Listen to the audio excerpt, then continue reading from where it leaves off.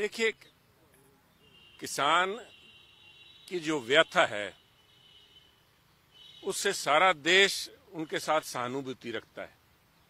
और उस सारे देश के अंदर सुनील जाखड़ भी शामिल है। एक राजनीतिक दल बीजेपी के प्रधान होने के नाते नहीं, परंतु खुद एक किसान होने के नाते भी और एक पंजाबी होने के नाते, एक भारतीय होने के नाते किसान की व्यथा के प्रति सबके दिल में दर्द है। ये आज कोई आज कोई पार्टी या दल खड़ा होके या कोई अपने आप को नेता बनाने के लिए आके भी हम किसानों के साथ हैं तो मैं समझता हूँ वो एक, उस भावना का मज़ाक है क्योंकि सारा देश उनके महत्व को समझता है और सलाम करता है।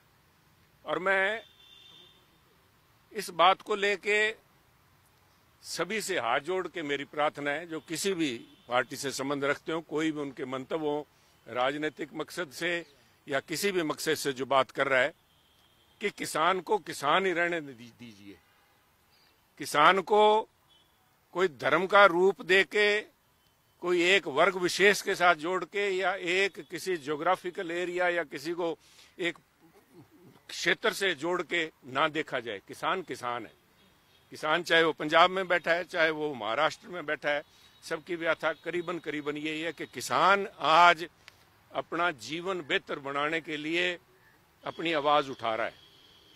और उस आवाज़ के प्रति उसको उस दृष्टि देखा जाएगा तो मुझे पूरा विश्वास है कि जिस गंभीरता से, जिस तरह से माननीय प्रधानमंत्री नरेंद्र मोदी जी ने पूरे देश को चार वर्ग में जिस तरह से बात की है कि हमारी मातृशक्ति, हमारा युवा, हमारा किसान और हमारा गरीब और मैं समझता हूँ कि उस दृष्टि से जब देखा जाए तो किसान, ये वर्ग चार से सिमट के तीन पे आ जाएँगे। किसान और गरीब, मैं समझता हूँ, पर्यायवाची हैं। कुछ मैंने इस किस्म की डिबेट्स भी देखी हैं, जहाँ पे इस किस्म के भी इल्ज़ाम लग रहे हैं कि बड़े बड़े जो जमींदार हैं, वो बात कर रहे हैं। कोई किसान की बात नहीं हो रही कि बड़े लोग अपनी बात कर रहे हैं। नहीं साहब, जो किसान है वो चाहे आपने खुद देखा है, साहब, यूरोप देख लीजिए, चाहे अमेरिका देख लीजिए, किसान हर जगह आज व्यथित है, क्योंकि किसानी के अंदर जो समस्याएँ हैं कि जो कि कुदरत पे आधारित है, कोई किसी किस्म की उसमें निश्चितता नहीं है, अनिश्चितता की भावना से किसान जब संघर्ष कर रहा है तो सारों की सहानुभूति उसके साथ में है। एक, किसान को किसान रहने दिया जाए। और दूसरा, किसान को जब बात की जाती है कि किसान, चाहे वो 50 परसेंट है 45 परसेंट है, या कोई 55 परसेंट कह देते हैं, भी पूरे देश के अंदर 55 फ़ीसदी के करीब जो लोग हैं, किसानी से जुड़े हुए हैं। परंतु कहते उनकी देश की आर्थिकता के अंदर जीडीपी का जो पैमाना लगाया जाता है, जिसके अंदर महज 15 परसेंट उसका योगदान है, उस दृष्टि से ना देखा जाए साहब। और हमारे तो पंजाबी में कहावत है कि जग ज्योंद्या मेले। अगर ज़िंदा रहेंगे तो सब आर्थिकता सुझेगी। ज़िंदा है जितनी अहमियत देश की फौजों की है, हमारी ज्योग्राफिकल सॉवरन इंटेग्रिटी को बनाए रखने की, उतनी ही महत्ता मैं समझता हूँ हमारे किसान की फ़ूड सिक्योरिटी के लिए भी है। जो लोग ये बात करते हैं कि किसानी का योगदान तो सिर्फ़ पंद्रह फ़ीसदी है, और वो रोज यहाँ पे आके धरना लगाने की बात करते हैं, वो लोग, मैं समझता हूँ, उनको पीएल फोर एट्टी के दिन याद नहीं, जब लाल रंग की मैक्सिकन कणक वहाँ से आया करती थी, और यहाँ पे जहाज़ की इंतज़ार में लोग बैठे रहा करते थे। तो मेरी हाथ जोड़ के बेनती है, किसान को सहानुभूति दृष्टि से देखा जाए देश उनके साथ उनकी समस्या को समझता है और उस देश की भावना को व्यक्त करते हुए प्रधानमंत्री मोदी जी ने अपने तीन सीनियर मंत्री को भेजा है। तो मेरी पूरी उम्मीद है कि इस मसले का कोई न कोई हल निकलेगा।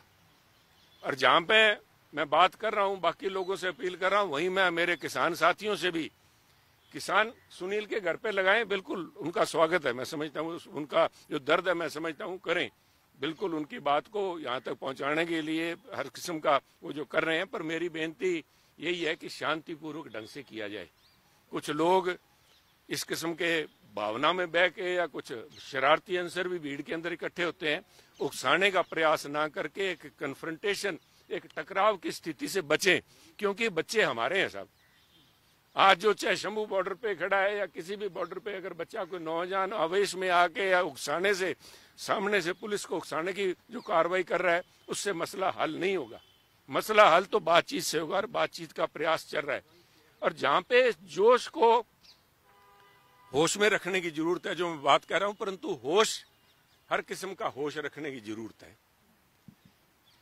क्योंकि मैं एक किसान साथियों से, क्योंकि आज चाहे मैं यहाँ खड़ा बात कर रहा हूँ, बीजेपी में, कल मैं भी किसान, इसी तीन बिलों के विरोध में सबसे अगर होकर सबसे पहली बात करने वाला भी शायद सुनील जाखेड़ी था तो मैं किसान की भावना से पूरी तरह परिचित हूँ। परंतु किसान को भी जोश के साथ होश का इस्तेमाल करना चाहिए। और ये बात मैं इसलिए कह रहा हूँ कि कुछ ऐसे वेस्टेड इंटरेस्ट जिनके अपने कुछ और मकसद हो सकते हैं, किसानी का भलाई या किसान का जीवन सर ऊपर बढ़े, उसके बच्चे भी अच्छे शिक्षा प्राप्त कर सकें, अच्छी नौकरियों पर लगे, अच्छी तरक्की कर सकें, ऐसा ना हो। ऐसे लोग भी आज या तो खुद मध्यस्थता करने के लिए मीडिएटर के रूप में आ गए हैं, या हो सकता है उन्होंने कुछ किसान सो कॉल्ड लीडर्स ने उनको बीच में न्योता दे के आज जो सो कॉल्ड मीडिएटर्स बैठे हैं। और उस बात के लिए मैं हरियाणा के मुख्यमंत्री खट्टर साहब से सहमत हूँ कि दाल में कहीं ना कहीं कुछ काला है साहब। तो किसान भी ऐसे लोगों से बचें, उनके मकसद को समझने का प्रयास करें। और मैं इसलिए कह रहा हूँ कि जो लोग आज किसान को एमएसपी दिलाने के लिए या किसान को उनका हक दिलाने के लिए वहाँ बीच में पंचायती कर रहे हैं, वो तो खुद खुद झूठे हैं। और वो वो लोग हैं जिन्होंने एमएसपी देने की वादा किया था कि मैं एमएसपी दोगे, सरकार बनाओ और 24 घंटे के अंदर मैं एमएसपी लागू कर दूँगा। उनके एडवोकेट जनरल आके हमारे पीठ पे सुप्रीम कोर्ट है, सुप्रीम कोर्ट में एफिडेविट दे के गए हैं उनके एडवोकेट जनरल साहब कि अगर हमें सुप्रीम कोर्ट ये करती है तो हम किसान को बाजरे के अंदर डाइवर्सिफाई कर देंगे। जब यहाँ पे पराली जलाने की बात आई तो किसान बाजरा लगाने की बात की भी। किसान चावल छोड़ के, जोना छोड़ के जिसे जीरी कह देते हैं, हरियाणा में हम जोना कह देते हैं या चावल धान की जो फ़सल है, वो छोड़ के बाजरा लगा देंगे। मैं, क्योंकि मुझसे जो लोग संघर्ष कर रहे हैं, मैं उनके ऊपर तो नहीं कुछ कहूँगा परंतु एज ए किसान मैं नहीं समझता कि अगर मेरे पास एमएसपी बाजरे की हो और एमएसपी अगर धान पे मिल रही हो तो पंजाब का तो कोई आदमी साहब बाजरा लगाने को राज़ी होगा नहीं। किसान को बेहतर ज़िंदगी चाहिए, किसान अपनी एक आश्वस्त इनकम चाहता है।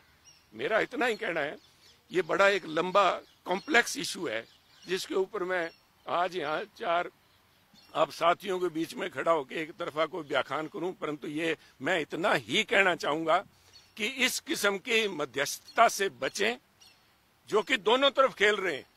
चित भी मेरी, पट भी मेरी। Hunting with the hounds and running with the hare वाली पोजीशन है, इन लोगों से बचें।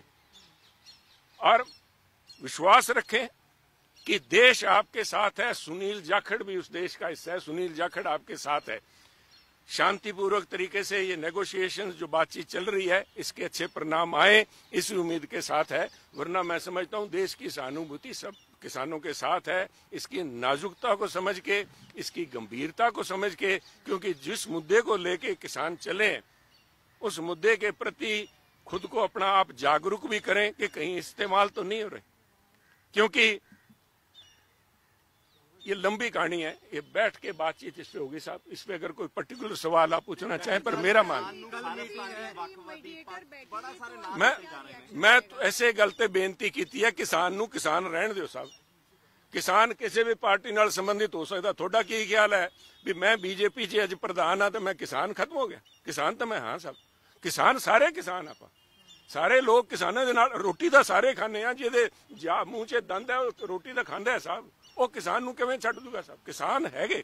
ਇਹਨੂੰ ਖਾਲਿਸਤਾਨੀ, ਇਹਨੂੰ ਕੋ ਪੰਜਾਬੀ, ਇਹਨਾਂ ਨੂੰ ਆ ਜੀ ਸਾਰੇ ਸਿੱਖ ਦੇ ਤੁਰ ਪਏ ਜੀ ਆ ਤਾਂ ਪੰਜਾਬ ਵਾਲਿਆਂ ਦਾ ਦਿਮਾਗ ਖਰਾਬ ਹੈ ਕੋਈ ਕਿਸੇ ਦਾ ਦਿਮਾਗ ਖਰਾਬ ਨਹੀਂ ਸਾਹਿਬ ਆਪਦੀ ਜਿਸ ਤਨ ਲਾਗੇ, ਸੋ ਤਨ ਜਾਣੇ। ਕਿਸਾਨ ਦੀ ਪੀੜ ਕਿਸਾਨ ਹੀ ਸਮਝ ਸਕਦਾ ਇਸ ਕਰਕੇ ਮੇਰੀ ਬੇਨਤੀ ਹੈ, ਬੜਾ ਇਹਨਾਂ ਨੂੰ ਢੰਗ ਨਾਲ ਇਹਨਾਂ ਦਾ ਬਣਦਾ ਆਦਰ ਸਤਕਾਰ ਦੇ ਨਾਲ ਅਗਰ ਆ ਹੁੱਲੜਬਾਜੀ ਨਾ ਹੋਵੇ ਤਾਂ ਮੈਂ ਨਹੀਂ ਸਮਝਦਾ ਵੀ ਕਿਸਾਨਾਂ ਨੂੰ ਕਿਤੇ ਆਣ ਜਾਣ 'ਚ ਕੋਈ ਰੋਕ ਹੋ ਸਕਦੀ ਹੈ। ਕੁਝ ਸ਼ਰਾਰਤੀ ਅੰਸਰ ਜਾਂ ਕੁਝ ਭਾਵੁਕਤਾ 'ਚ ਬਹਿ ਕੇ ਇਹ ਜਿਹੀ ਹਰਕਤਾਂ ਹੋ ਜਾਂਦੀ ਹੈ, ਜਿਹਦੇ ਕਰਕੇ ਸਰਕਾਰ ਨੂੰ ਆਪਣੇ ਜੋ ਵੀ ਇੰਤਜ਼ਾਮ ਕਰਨੇ ਪੈਂਦੇ ਹੈ। ਪਰ ਮੈਂ ਸਮਝਦਾ ਵੀ ਇੱਕ ਅੱਛੇ ਸੁਹਿਰਦ ਮਾਹੌਲ ਦੇ ਅੰਦਰ, ਚਾਹੇ ਜਿਸ ਕਿਸਮ ਦੀਆਂ ਵੀ ਪੰਚਾਇਤੀਆਂ ਵਿਚਾਲੇ ਪੈ ਗਈਆਂ ਮੇਰੀ ਉਮੀਦ ਹੈ ਮੈਂ ਕਿਸਾਨੀ ਵਾਸਤੇ ਪੰਜਾਬ ਦੀ ਭਾਈਚਾਰਕ ਸਾਂਝ ਵਾਸਤੇ ਹਿੰਦੁਸਤਾਨ ਦੀ ਬਿਹਤਰੀ ਵਾਸਤੇ ਮੈਂ ਉਮੀਦ ਕਰਦਾ ਵੀ ਆ ਮਸਲੇ ਦਾ ਹੱਲ ਨਿਕਲੂਗਾ। ਕੱਲ ਮੀਟਿੰਗ ਹੈ।